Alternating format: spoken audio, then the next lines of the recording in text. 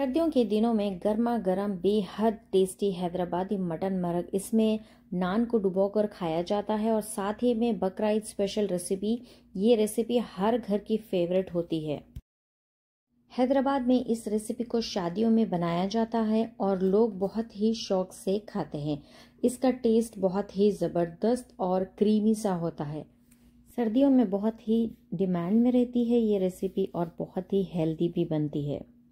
तो चलिए देखते हैं इसे बनाने का तरीका। बहुत ही आसान और सिंपल सी रेसिपी है और घर के ही इंग्रेडिएंट से हम ये रेसिपी को बनाएँगे और बहुत ही टेस्टी बनेगी। तो आप इसे घर पर ज़रूर ट्राई कीजिए और मुझे बताइए कमेंट में कि आपकी रेसिपी कैसी बनी है। तो सबसे पहले हम यहाँ पर लेंगे वन कप ऑयल आप चाहे तो इसे पैन में भी बना सकते हैं या फिर आप कुकर में भी बना सकते हैं। अगर आपका मटन टेंडर है तो आप पैन में बना दीजिए या फिर आपको जल्दी है तो आप इसे कुकर में बना दीजिए। तो इसके बाद हम यहाँ पर डालेंगे वन टेबल स्पून देसी घी। आप चाहे तो सिर्फ़ देसी घी से बना सकते हैं या फिर देसी घी के अंदर ही अच्छा बनेगा।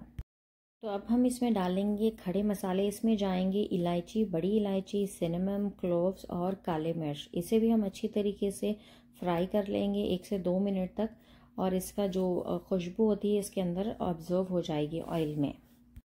और इसके बाद मैंने यहाँ पर दो प्याज डाले हैं। अगर आप ज़्यादा बनाना चाहते हैं तो आप इसमें दो प्याज डालिए, वरना फिर एक मीडियम ऑनियन इसमें बहुत हो जाएगी। इसे भी हम अच्छे तरीके से फ्राई कर लेंगे। इससे प्याज को गोल्डन कलर करना नहीं है। इससे सिर्फ़ थोड़ा सा गलने तक ही हमें इसे फ्राई करना है।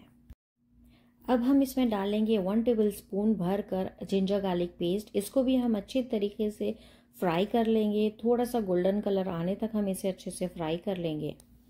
जैसे ही ऑनियन में लाइट गोल्डन कलर आ जाए, इसमें हम डाल लेंगे टू के मटन मटन मेरा बड़े पीसेस है, मरग में बड़े पीसेस अच्छे लगते हैं। आप चाहे तो अपने हिसाब से मटन को डाल लीजिए। मैंने यहाँ पर टू के मटन लिया है। आपके घर के हिसाब में आप जितना लेना चाहते हैं, आप उस तरीक़े से लीजिए, पर बोन वाला लीजिए। बोन का जो गोश्त होता है, उसमें अच्छा सा टेस्ट आता है।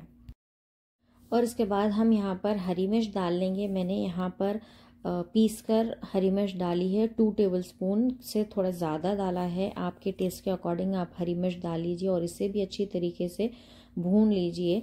जब तक कि इसका कलर चेंज ना हो जाए थोड़ा सा हाई फ्लेम पर मटन को मैंने यहाँ पर पाँच मिनट तक भून लिया है और इसके बाद मैंने यहाँ डाला है वाइट पेपर पाउडर आप चाहे तो ब्लैक पेपर पाउडर भी डाल सकते हैं, लेकिन मैंने नहीं डाला है क्योंकि इससे ब्लैक कलर होता है मरक का तो आप चाहें कि वाइट पेपर पाउडर डालें और इससे कलर भी मेंटेन रहेगा और टेस्ट भी आएगा। तो इसके बाद हम डाल लेंगे वन टेबल स्पून नमक मैंने डाला है और हाफ़ टेबल स्पून मैंने हल्दी का पाउडर डाला है। इससे कलर भी अच्छा आएगा। मटन को मैंने यहाँ पर फाइव मिनट तक अच्छी तरीके से भून लिया है। हाई फ्लेम पर इसे अच्छे से हमें भूनना है। इसका थोड़ा सा कलर चेंज हुआ है जब तक हम इसे हाई फ्लेम पर भूनते रहेंगे। मटन अच्छे से भूनने के बाद मैंने यहाँ पर दो ग्लास पानी डाल लिया है। इसे हम अच्छे तरीके से दो ग्लास पानी डाल लेंगे और इसके बाद हम ढक्कन लगाकर इसे अच्छे से हाई फ्लेम पर पकाएँगे ताकि मीट हमारा जो है अच्छे से गल जाए और हम थोड़ी देर इसे हाई फ्लेम पर रखेंगे और थोड़ी देर इसे लो फ्लेम पर रखेंगे ताकि मीट अच्छे से गल जाए। जब तक हमारा मटन गल रहा है, हम बना लेंगे इसमें डालने वाला वाइट पेस्ट मैंने यहाँ पर 10 से 15 काजू लिए हैं और 10 से 12 बादाम को लिए हैं और इसे हम अच्छे से पेस्ट बना लेंगे। थोड़ा सा पानी डाल या फिर आप इसमें थोड़ा सा दूध डालें। इसका अच्छे से स्मूथ पेस्ट बना दीजिए और इसे हम ग्रेवी में डालेंगे। काजू और बादाम को मैंने पहले से ही गर्म पानी में भिगो कर रखा था और उसके बाद मैंने बादाम का छिलका निकाल दिया और साथ ही में दूध और पानी या फिर कोई भी चीज़ इसमें डालकर ब्लेंड कर लीजिए। पर स्मूथ पेस्ट रहना चाहिए। आप स्मूथ पेस्ट इसमें यूज़ करेंगे। यहाँ पर मैंने थोड़ा सा हंकड़ लिया है, इसे हम अच्छे से फेंट लेंगे। आप नॉर्मल भी ले सकते हैं, दही उसे अच्छे से फेंट लीजिए और नॉर्मल टेम्परेचर पे इसे डालिए, वरना आपका दही फट जाएगा।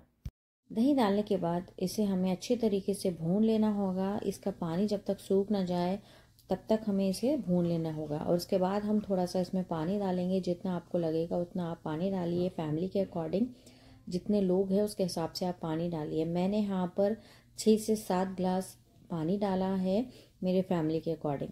तो दोस्तों, अब इसमें हम डाल लेंगे मसाला जो मैंने काजू और बादाम का जो मिक्सर बना के रखा था और उसे हम अच्छे से पेस्ट करके रख लिए थे। वही हमें इसमें डालना होगा। सारा मैंने इसमें डाल लिया है। आप चाहे तो इसमें थोड़ा सा पानी डालकर भी डाल सकते हैं।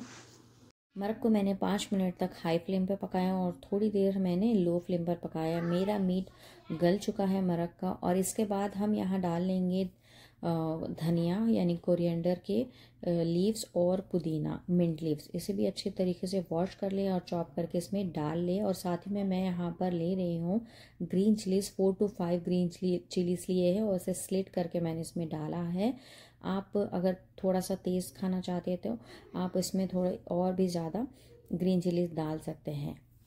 तो लास्ट में इसमें हम डालेंगे गरम मसाला होममेड गरम मसाला है ये मेरा। आप इसमें वन फोर्थ टेबल स्पून डाल सकते हैं, जितना आप बना रहे हो उसके हिसाब से डालिए। और इसे भी हम अच्छे तरीके से पकाएँगे। पाँच मिनट लो फ्लेम पे ढककर पकाएँगे। और लास्ट में मैंने यहाँ पर एक चीज़ शूट करना भूल गई हूँ। क्रीम मैंने डाला था। मैंने यहाँ पर हाफ़ कप मैंने क्रीम डाला है। क्रीम डालना ज़रूरी है। क्रीम से टेस्ट और भी ज़बरदस्त हो जाएगा। आप चाहें तो इसमें मलाई भी डाल सकते हैं। जो घर की मलाई होती है, दूध पर जमती है, वो डाल लें। उससे भी अच्छा टेस्ट आएगा। या तो आप क्रीम डालें या फिर मलाई डालें दोनों में से आप कोई भी एक चीज़ डाल लें। यह डालने से बहुत ही अच्छा टेस्ट हो जाएगा। आप इसे ज़रूर ट्राई कीजिए, घर पर बनाइए और अपनी फैमिली को खिलाइए और मुझे कमेंट में बताइए कि आपकी रेसिपी कैसी बनी है और मुझे और भी रेसिपीज़ कुछ चाहिए तो प्लीज़ मुझे कमेंट में बताइए, आपके डिमांड पे मैं वही रेसिपीज़ बनाऊँगी। तो ये देखिए फ्रेंड्स हमारा मरक बनकर रेडी हो चुका है। इसे आप नान की रोटी से खाइए या फिर गेहूँ की रोटी से खाइए। इसका टेस्ट और भी दुगना हो जाएगा। नान की रोटी से तो ये मरक बहुत ही टेस्टी लगता है। आप इसे ज़रूर ट्राई कीजिए। आप घर पर बनाइए और मुझे कमेंट में बताइए कि आपकी रेसिपी कैसी बनी है। जो भी मेरे चैनल पर नए आए हैं मेरी हम्बल रिक्वेस्ट है कि प्लीज़ मेरे चैनल को लाइक करें शेयर करें सब्सक्राइब करना ना भूलें। मैं और भी रेसिपीज़ लाती रहूँगी। Thanks for watching